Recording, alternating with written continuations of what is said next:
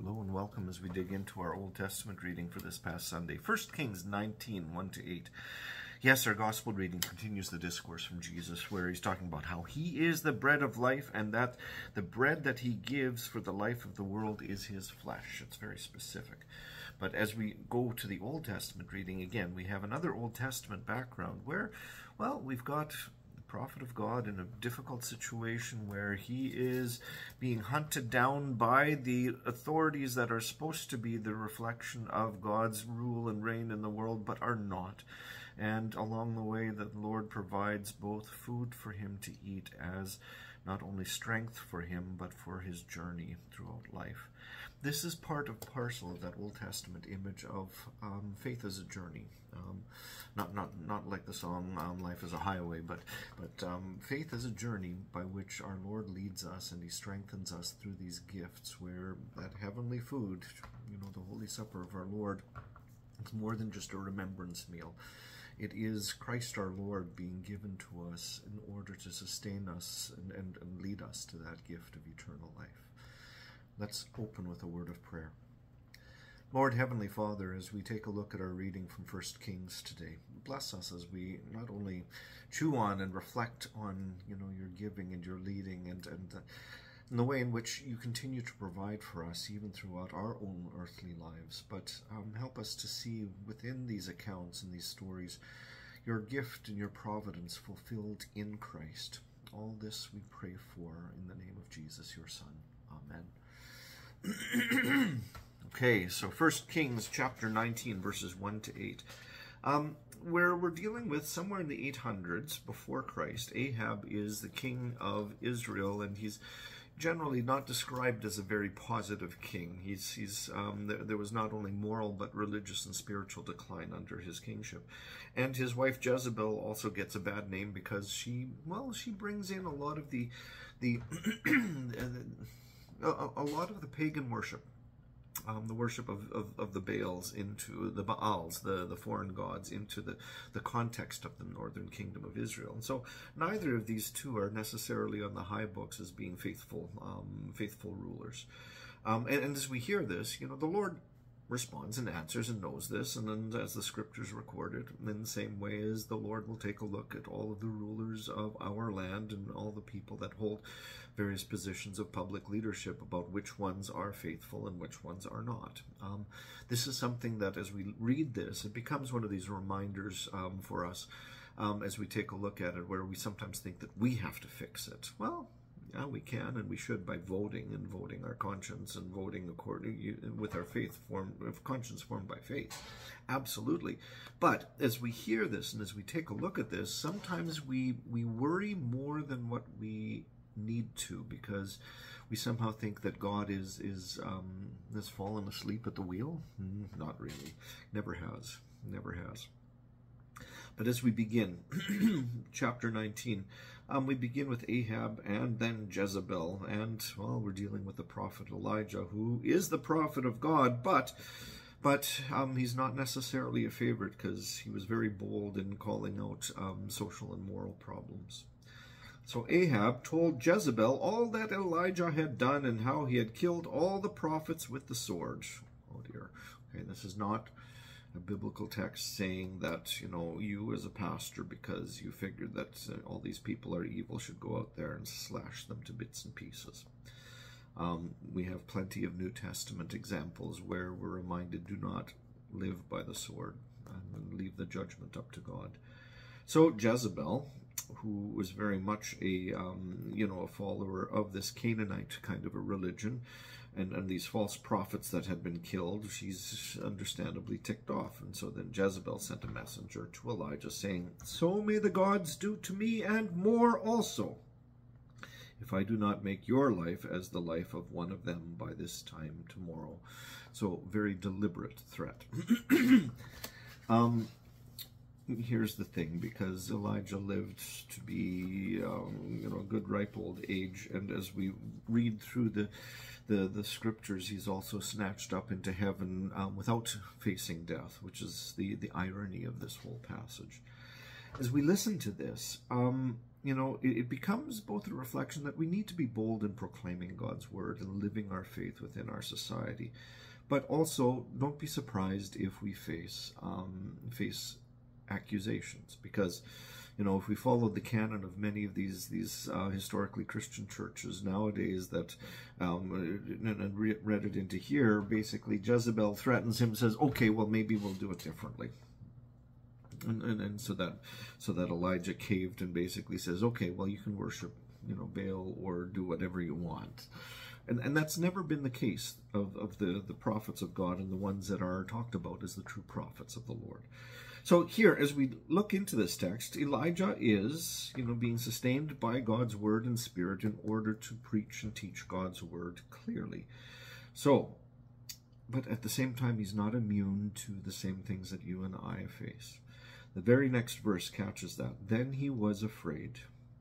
Okay, are we ever afraid? Do we ever buckle?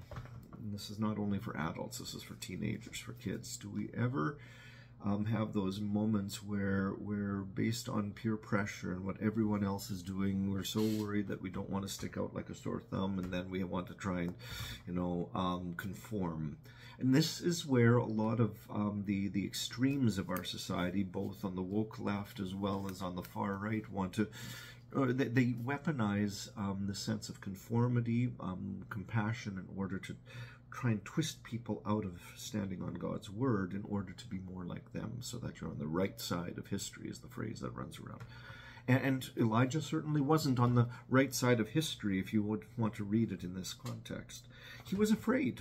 Um, and when we have those moments as well, it's not that our faith is dried up, but it's always this reminder as we look at this, and this is where we can look at Elijah as a good example for our faith today. Don't let the the, the cultural pressure, the the um, sociocultural bullying, um, the peer pressure that comes through media and social media, um, chase you away from that which is true in God's word. That we hold on to not only the law, what is right and what is wrong, but then also the gospel. That we don't um, fudge on those because with the gospel comes that gift of eternal life. With Jesus comes that gift of eternal life.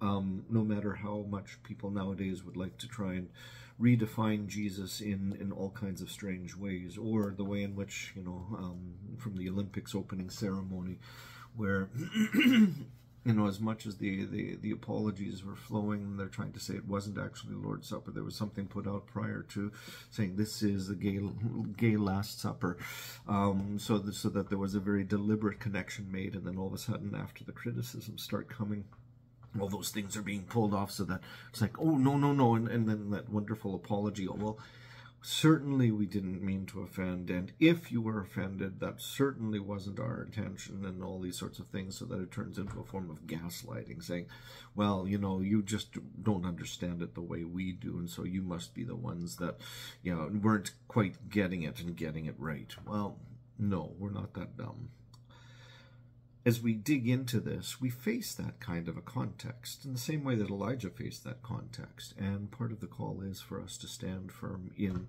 that gift as we, well, celebrate it as our Lord holds us in this gift of eternal life, because the other things don't lead us there. So, as we keep going on, you know, he was afraid.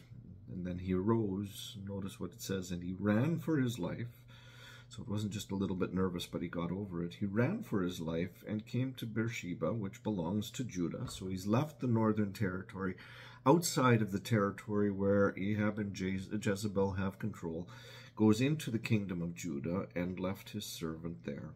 So here it goes into hiding in the neighboring country.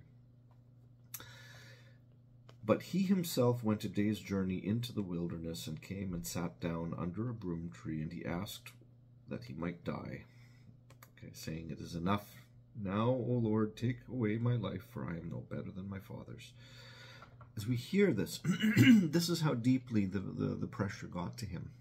Um, and the persecution got to him, and the words and the bullying got to him. And as we hear this, it becomes one of these reflections for us. Do we ever feel like uh, where, where we're stuck between either giving up which becomes the default within our society, or just going and hiding.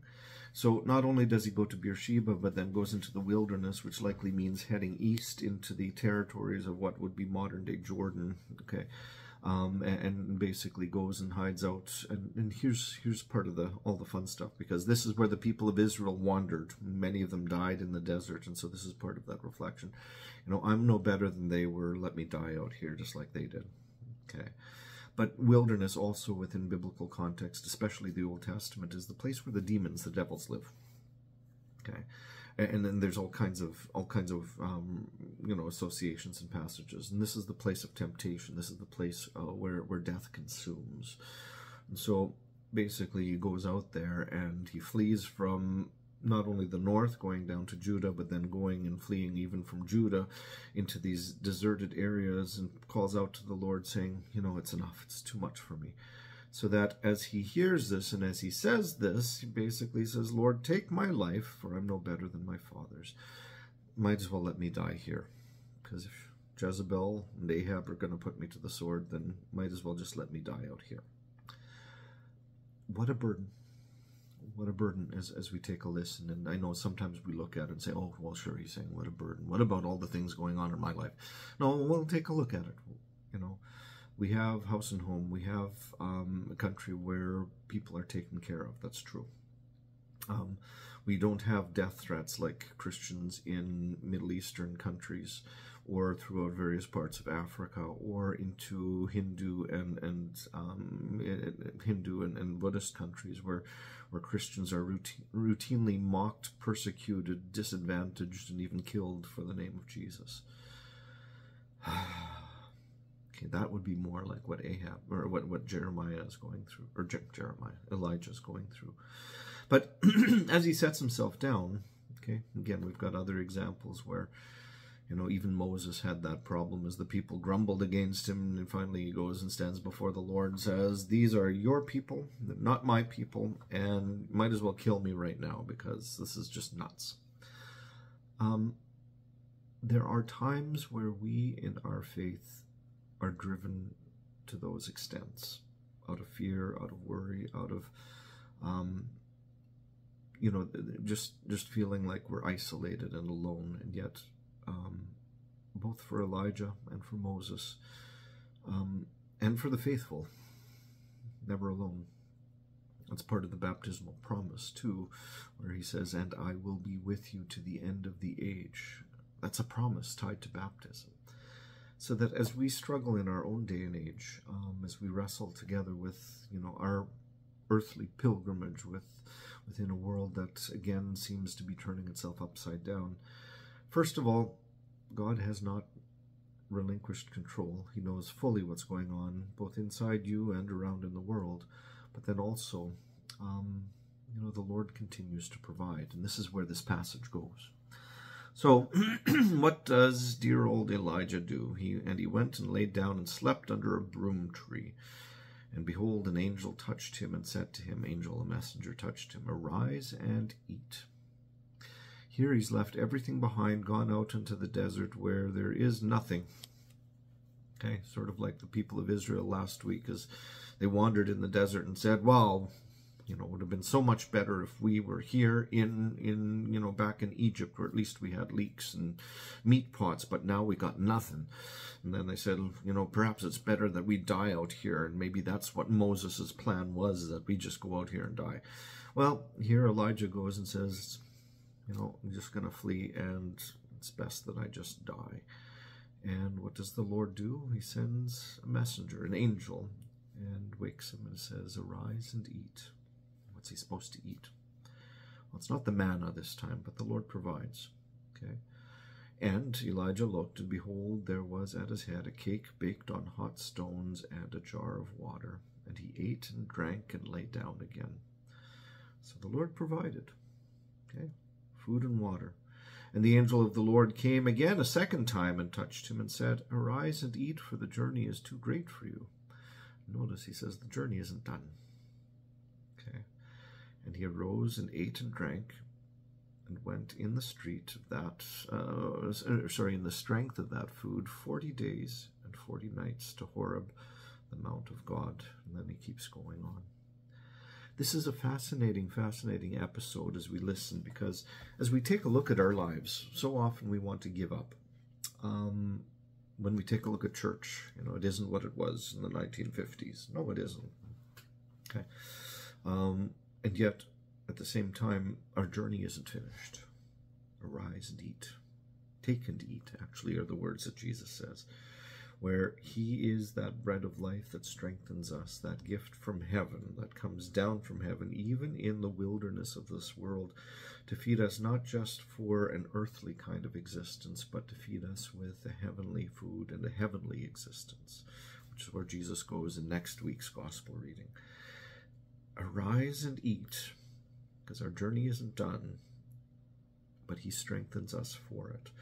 So that for Elijah at least, he had strength for 40 days and 40 nights to Horeb on the Mount of God.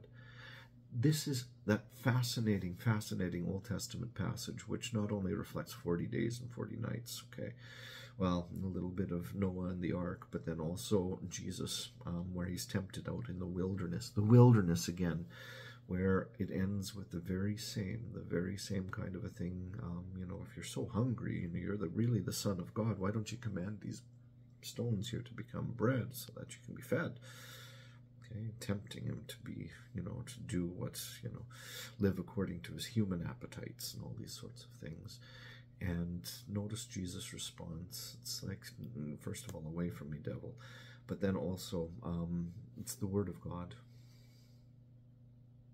Jesus being the Word of God made flesh, the bread that came to the desert, the bread that feeds us in His flesh, um, the bread that we celebrate in the same way that the New Testament church did, in the same way that the early church did, all the way up until the 1500s, where all of a sudden you had people with harebrained ideas saying, well, it couldn't possibly be the body and blood of Jesus. Well, that's you know, relatively new innovation in the way in which people think about it, where they cut away, you know, Jesus' own words and say, well, it couldn't be, it's just a remembrance meal, and we got to make faith more real and active in other ways. Well, here's the danger. It's not what Christ says, so we're not following the words of Christ. But then also, if Jesus really says that this is his flesh, which he gives for the life of the world, that's the bread of heaven um, and then we say it couldn't possibly be, and so I got to find it some other way. Um, it's like the people wandering in the desert that decided to build golden calf instead and said, well, we'll worship this instead because Moses is gone and, you know, all these other things. They were judged and they fell. They died. Again, as we listen, going back to Elijah, Ahab, Jezebel, you know, the confrontation between Elijah, the prophet of God, and the prophets of Baal. the Lord provided food for him. The Lord provided strength with that, again, bread and that nourishment from heaven. And as we hear this, it becomes, again, part and parcel of that biblical understanding that you know, even as we wander through this life as strangers in this world because we've been called to a heavenly, heavenly citizenship, hold on to that gift. hold on to Christ. Let's continue to seek that gift of that bread of heaven, that bread of life, namely the flesh and the blood of Jesus Christ. May the Lord bless us so that as we face not only the similar struggles that Elijah did back then, that and as we wrestle with our own fears, that you know, we would be strengthened by his word and strengthened and always draw strength from the sacraments for our journey of faith. God's peace be with you. Amen.